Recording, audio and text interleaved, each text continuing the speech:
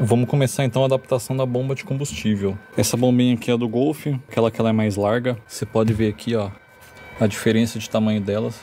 Aí ela vai montada assim aqui, dentro do copo.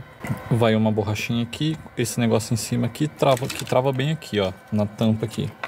Como é que ela funciona? Aqui por baixo, essa bomba aqui é como se fosse dois estágios. Primeiro o rotor de baixo aqui, que ele pega no caso do fundo do tanque mas ele não pressuriza muito. Seria um rotor só de vazão. Por que vazão? Porque é o seguinte, ó, ele pega do fundo do tanque e joga aqui por cima aqui, ó, subindo por esse tubinho aqui. Esse tubinho, o que tem nele? No caso tem esse negocinho aqui.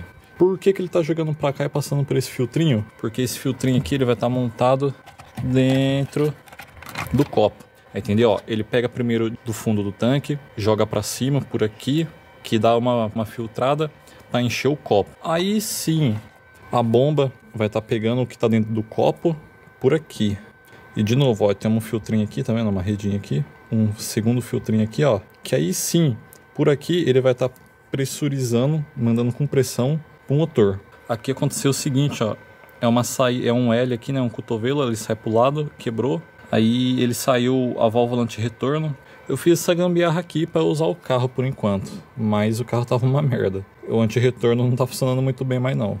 Aí para não estar tá comprando de novo essa bomba aí, que só tem na versão dela a gasolina, eu comprei essa daqui e para isso, para adaptar ele aqui dentro do copo, é o seguinte, eu fiz aqui com PVC, ó, uma tampinha aqui pro fundo do copo com anti-retorno. Mas como assim anti-retorno? Foca. O anti-retorno meu é esse aqui, ó ele vai funcionar da seguinte maneira. Ele vai ficar assim no fundo do copo, ó. Aí quando você abastece o carro e, a, e o combustível cai no tanque, o nível sobe, né? O nível de fora é maior, consequentemente vai causar uma pressão, um peso ali no plastiquinho ali que vai empurrar ele para cima. Aí o, aí o combustível que está fora do, do copo vai acabar invadindo aqui e inundando. Aí os níveis vai igualar. Mas se o nível aqui do tanque estiver baixo, estiver acabando o combustível, ele vai manter o combustível dentro do copo somente com o peso. Essa bombinha universal aqui, ela funciona da seguinte maneira. Dentro desse negocinho aqui, desse filtrinho, tem dois buraquinhos. Um dá para ver aqui e o segundo buraquinho só dá para ver por cima, mas ele pega, no caso, no meio desse filtro. No meio desse filtrinho aqui, ó. Pela lateral aqui ele puxa. Então vai funcionar da seguinte maneira. Vai ficar aqui ele vai estar tá puxando de dentro do copo e do fundo do tanque. Aqui eu vou colocar um filtrinho também. Vai ser montado assim. Vai entrar combustível por aqui para esse para encher né, o copo. Quando o nível for o nível do tanque for maior que o nível de dentro aqui por pressão, né? Por peso. E é isso aí. E a parte de cima, fixando ali, mantendo em pé certinho encaixado, eu fiz essa, esse anel aqui, essa arruela, que ela vai encaixada aqui assim e a tampa do copo vai entrar aí. Aí beleza, esse copo vai funcionar da seguinte maneira. Ó, o retorno de combustível está aqui, que vai encher o copo por duas maneiras. Por nível de combustível fora do tanque e pelo retorno. Quando dá 3 bar de pressão lá na falta, lá na frente, ele está retornando para o tanque por aqui e caindo dentro do copo. É assim que funciona. E aqui é o seguinte, eu não sei como é que Super Bonder reage com gasolina, se descola ou não, mas plástico aguenta gasolina. PVC também aguenta, que eu já testei.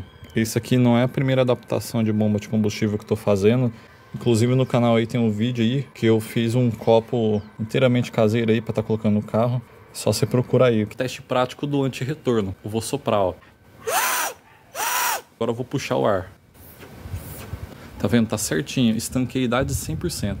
Já enrolei com veda rosca aí, ó. Pra tá fazendo a guarnição. E coloquei uns pontinhos de super bonder pra segurar. Bombinha no local. Colocar essa borrachinha que vem aqui, ó.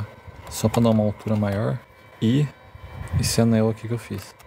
Colocando aqui, ó.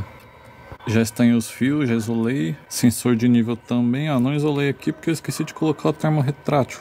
Erro clássico, mas não vai pegar em nada. Falar pra vocês, soprador térmico é bom, hein? você não sofrer para encaixar essas mangueiras, você usa ele. Agora vamos estar tá instalando no lugar e torcer para funcionar bem. Tive que desmontar tudo de novo para estar tá colocando essa peneirinha aqui, ó. Eu peguei ela daqui, tá vendo? Cortei aqui e coloquei com uma abraçadeirinha.